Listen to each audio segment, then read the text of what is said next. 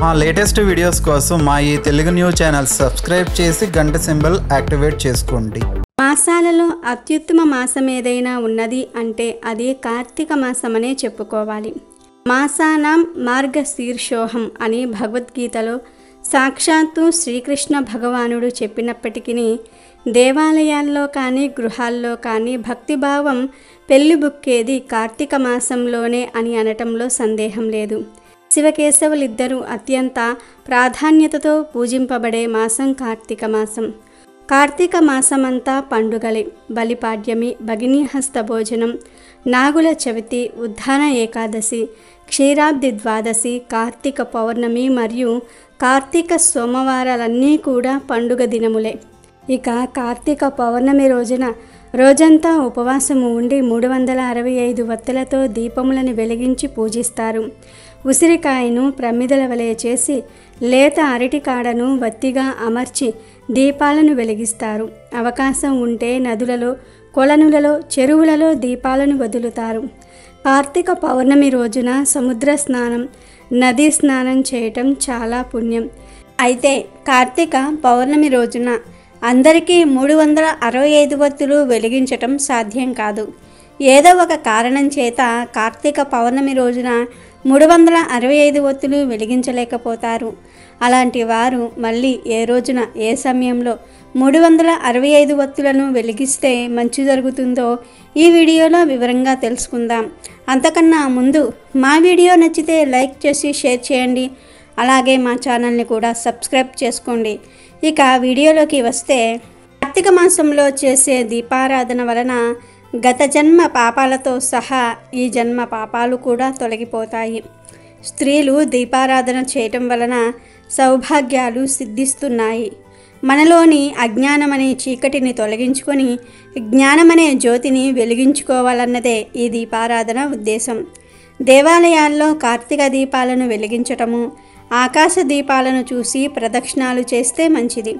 సాధ్యమైనన్ని సార్లు ప్రతిరోజు శివ పంచాక్షరిని మనసులో మననం చేసుకుంటే సకల శుభాలు కలుగుతాయి. కార్తీక మాసంలో అత్యంత విశేషమైనది కార్తీక దీపారాధన. కార్తీక పౌర్ణమి రోజు విశేషంగా మూడు వందల అరవై ఐదు ఒత్తులతో దీపారాధన చేస్తారు. మరి పౌర్ణమి రోజు మూడు వందల అరవై ఐదు ఒత్తుల దీపాన్ని వెలిగించటం కుదరని వారు కార్తీక పౌర్ణమి తర్వాత వచ్చే సోమవారం రోజున కానీ ఏకాదశి ద్వాదశి బహుళ త్రయోదశి అంటే మాస శివరాత్రి రోజున కానీ కార్తీక అమావాస్య రోజున కానీ మూడు వందల అరవై ఐదు ఒత్తులను వెలిగించవచ్చు.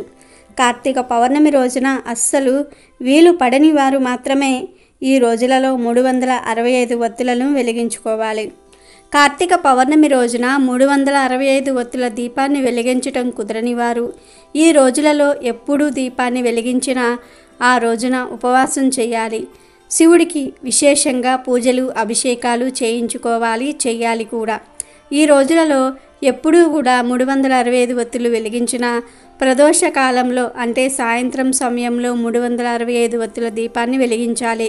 ఇలా వెలిగించటం వల్ల పుణ్యం లభిస్తుంది. కార్తీక పౌర్ణమి రోజున వీలు ఉండి కూడా మూడు వందల అరవై ఐదు ఒత్తులను వెలిగించలేకపోతే అది మహాపాపం అని మన పండితులు చెప్తూ ఉన్నారు. మూడు వందల అరవై ఐదు వత్తుల దీపం కోసం మూడు వందల అరవై ఐదు వత్తులను మీరు కొనటం కన్నా ఇంట్లో విభూదిని అద్దుకుంటూ పత్తితో మీ చేతులతో చేసుకుంటే మంచిది. మీరు చేసే ఒత్తికి తెంచిన భాగం మరియు కొన ఉంటుంది. కొనను పైకి ఉంచి తెంచిన భాగాన్ని కిందికి ఉంచి వెలిగించాలి. అంతేగాని ఒత్తులను తలకిందులుగా వెలిగిస్తే ఫలితం ఉండదు. ఒకటికి రెండు సార్లు చూసి జాగ్రత్తగా గమనించి వెలిగించుకోవాలి. మీరు మీ ఇంట్లో తయారు చేసే ఒత్తులను మూడు కట్టలుగా కట్టాలి. నూట ఇరవై నూట ఇరవై నూట ఇరవై ఐదు. అనగా నూట ఇరవై ఒత్తులతో ఒక కట్ట నూట ఇరవై ఒత్తులతో మరొక కట్ట నూట ఇరవై ఐదు ఒత్తులతో ఒక కట్టగా మూడు కట్టలు కట్టి ఈ మూడు కట్టలను ఒక కట్టగా చేయాలి. అలా మూడు వందల అరవై ఐదు ఒత్తులను రెడీ చేసుకోవాలి. ఇంట్లో చేసుకోలేని వారికి కొనుక్కొని తెచ్చుకోవటం తప్ప వేరే ఆప్షన్ ఏమీ లేదు. అలా కొని తెచ్చుకున్నా తప్పేమీ కాదు. మూడు వందల అరవై ఐదు ఒత్తులను వెలిగించే గంట ముందు ఆవు నెయ్యిలో నానబెట్టుకోవాలి ఈ ఒత్తులను. తీసే ముందు లైట్గా ఆవు నెయ్యిని పిండి తీయాలి. మూడు వందల అరవై ఐదు ఒత్తుల దీపాన్ని వెలిగించటం కోసం పూజ చేసే సమయంలో అంటే మీ ఇంట్లో లేదా దేవాలయంలో ఎక్కడ దీపం వెలిగిస్తే అక్కడ ముందు అష్టదళ పద్మం ముగ్గు వేసుకోవాలి. ఈ పద్మంపై పసుపు కుంకుమ అక్షింతలతో అలంకరించుకోవాలి. దానిపై తమలపాకు పెట్టి ఆకులో పసుపు వినాయకుణ్ణి పెట్టుకోవాలి. ముందుగా పసుపు గణపతి ముందు దీపాన్ని హారతితో లేదా అగరబత్తితో వెలిగించుకోవాలి. ముందుగా పసుపు గణపతిని ఆవాహన చేసి వస్త్రము యజ్ఞోపవీతము గంధము పసుపు కుంకుమ అక్షింతలతో చక్కగా పూజించుకోవాలి. ధూపం చూపించిన తర్వాత దీపాన్ని కూడా చూపించి బెల్లాన్ని నైవేద్యంగా సమర్పించి తాంబూలం కూడా సమర్పించుకోవాలి.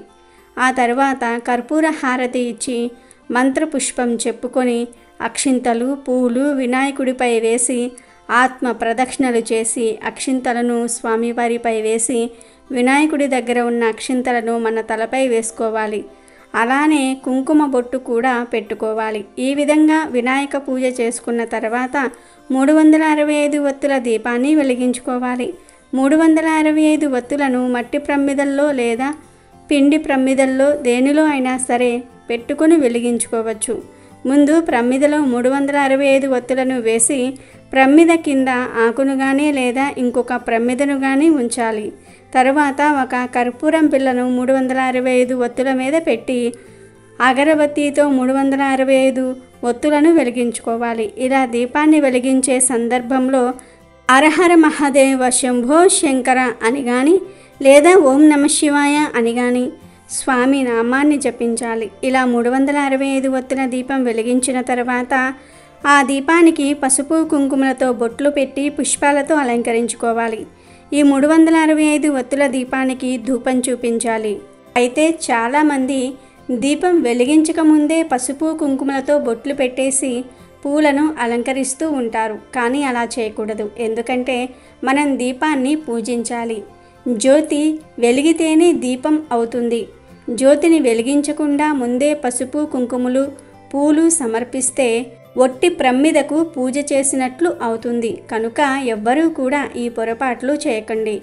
మూడు వందల అరవై ఐదు వత్తులను వెలిగించక ముందే పసుపు కుంకుమ పూలతో అలంకరణ చేయవద్దు. మూడు వందల అరవై ఐదు వత్తులను వెలిగించిన తర్వాత మాత్రమే పసుపు కుంకుమ పూలతో అలంకరణ చేయండి. ఇలా మూడు వందల అరవై ఐదు వత్తులను వెలిగించిన తర్వాత బెల్లం ముక్కను ఆ దీపానికి సమర్పించాలి. లేదా చలిమిడి వడపప్పు పానకము సమర్పించవచ్చు. అలాగే కొబ్బరికాయను కొట్టి నివేదన చేసుకోవాలి. చివరిగా కర్పూర హారతి వెలిగించి ఒత్తులకు చూపించాలి. ఈ ఒత్తులు వెలుగుతున్నంతసేపు కార్తీక పురాణం చదువుకుంటూ ఉంటే చాలా మంచిది. లేదా ఓం నమశివాయ అంటూ పరమేశ్వరుని ధ్యానం చేసుకోవాలి.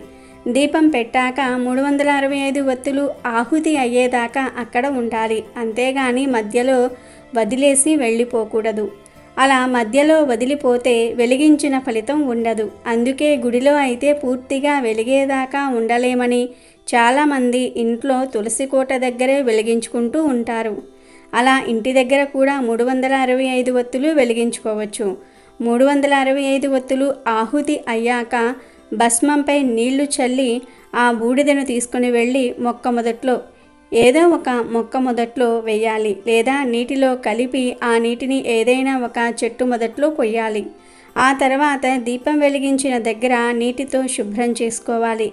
ప్రమ్మిదలను మిగిలిపోయిన అగరవత్తుల పుల్లలను ఇంకా మిగిలిన వేస్ట్నంతా కూడా తీసుకుని వెళ్ళి డస్ట్బిన్లో పడవేయాలి. అంతేగాని అక్కడే ఆ వేస్ట్నంతా కూడా వదిలివేయకూడదు. అలాగే అక్కడ పొరపాటున కూడా నూనె నెయ్యి లాంటివి ఒలికితే అక్కడ కూడా శుభ్రం చేయండి. లేదంటే వేరే వారు జారి పడిపోయే ప్రమాదం కూడా ఉంటుంది.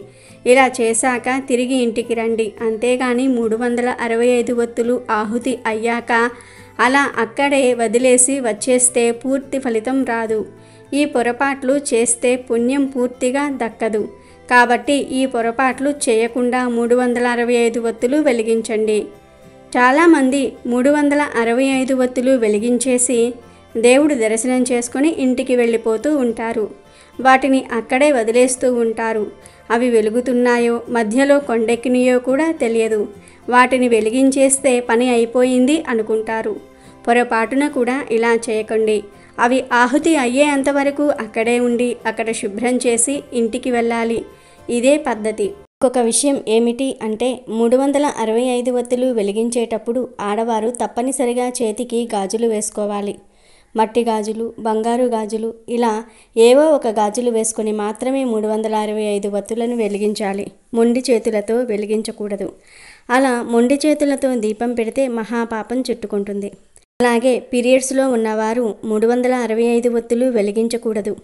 దీని గురించి ప్రత్యేకంగా చెప్పనవసరం లేదు. అలాగే మూడు వందల అరవై ఐదు ఒత్తులు వెలిగించేటప్పుడు వేరే వారితో మాట్లాడుకుంటూ కబుర్లు చెప్పుకుంటూ వెలిగించకూడదు. శాంతంగా ఓం నమశివాయ అని అనుకుంటూ కానీ హరహర మహాదేవ శంభో శంకర అని అనుకుంటూ కానీ వెలిగించుకోవాలి. అంతేగాని పక్కవారితో కబుర్లు చెప్తూ ఏకాగ్రత లేకుండా మూడు వందల అరవై ఐదు ఒత్తులు వెలిగిస్తే ఫలితం రాదు. అలాగే మూడు వందల అరవై ఐదు వత్తులు వెలిగించే మహిళలు లేదా పురుషులు కుంకుమ బొట్టును కానీ విభూతిని కానీ ధరించి వెలిగిస్తే పూర్తి ఫలితం దక్కుతుంది. మూడు వందల అరవై ఐదు వత్తులు వెలిగించేటప్పుడు పాటించవలసిన నియమాలు. మరి తెలుసుకున్నారు కదా కార్తీక పౌర్ణమి రోజు మూడు వందల అరవై ఐదు వత్తులు వెలిగించటం కుదరని వారు ఏ రోజున మూడు వందల అరవై ఐదు వత్తులు వెలిగించుకోవాలో అలాగే ఏ సమయంలో వెలిగించుకోవాలో కూడా చెప్పుకోవటం జరిగింది. ఒకవేళ మీకు కార్తీక పౌర్ణమి రోజున మూడు వందల అరవై ఐదు ఒత్తుల దీపం వెలిగించటం కుదరకపోతే ఇప్పుడు మనం ఈ వీడియోలో చెప్పుకున్న రోజులలో వెలిగించుకుంటే అనగా ఈ మూడు వందల అరవై ఐదు ఒత్తుల దీపాన్ని వెలిగించుకుంటే మంచిదని శుభ ఫలితాలు కలుగుతాయని పండితులే చెప్తూ ఉన్నారు.